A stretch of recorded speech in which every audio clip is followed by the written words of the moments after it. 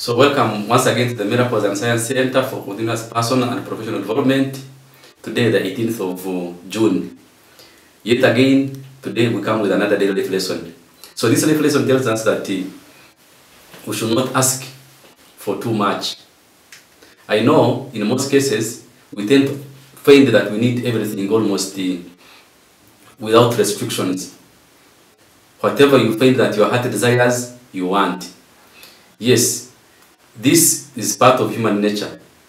If we read in Ecclesiastes 2.10, we are told, actually a story by the, uh, the son of David, that scholars refer to have been Solomon. He had almost everything that he wanted. Everything. That's what it tells us in Ecclesiastes Ecclesiastes 2.10. And uh, we also find that the, he didn't actually eventually find pleasure in, despite the fact that he had all that he wanted. So, there are three reasons why you should never ask for too much. And these are the lessons I'm going to tell you, or the reasons I'm going to give you in this uh, daily lesson for today. Number one, you should never ask for too much because that's not what you need. It's not too much that you need. If I may ask you, how much food can you eat? Just to a limited extent. How much clothes can you put on at any one time? How many relationships can you handle at any one time? There is always a limitation. So it's not what uh, you actually want, but what you need that you should ask for. That is the first reason. The second reason you should do, never ask for too much is that uh, too much cannot be managed. I have seen people who ask for business. They get a lot of business. So many customers come, but they cannot be able to manage to handle those customers. Other people ask for money. They get a lot of money, but eventually they cannot be able to handle the money. People ask for, in religious speaking, favors.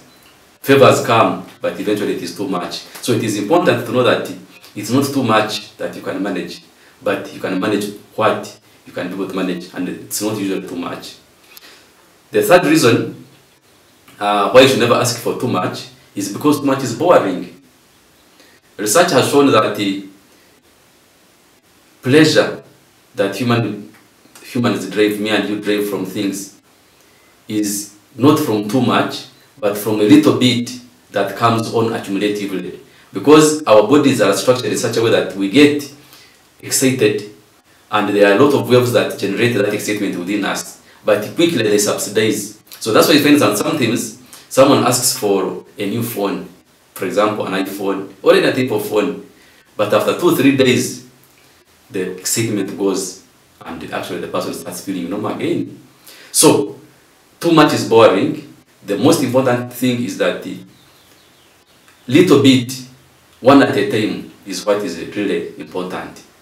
So, in summary, from today's, our today's daily life lesson, never ask for too much, simply ask for what you need.